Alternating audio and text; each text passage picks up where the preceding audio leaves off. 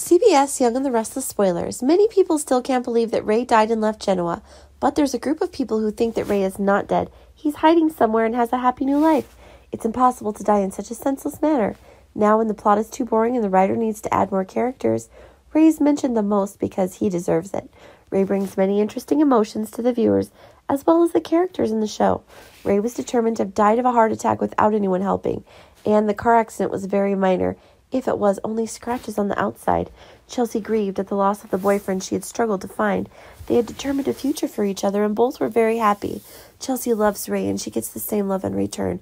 Both are very gentle. They both have a common love. That is Connor, a boy who loves Uncle Rey and wants him to marry his mother. There had never been a man that Connor had treated with such kindness and respect. Sharon doesn't need to be mentioned in Rey's life because she doesn't love him. She's just taking advantage. She was probably the happiest when she heard the news of Rey's death because she didn't need to go through the lengthy divorce proceedings. Rey is coming back to Genoa this October because he's alive. He returns to Miami to visit his family in secret, and he doesn't want anyone to disturb his life.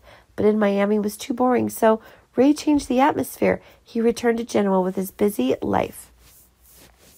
Although it's too complicated, everyone wants it. How will Sharon react while Rey is alive? Will Chelsea still love Rey? She may already have a new love, but that's okay. Rey will be looking for a new love at any moment. Fortunately, Rey is still alive, but it would be a shame to end a character like Rey Rosales.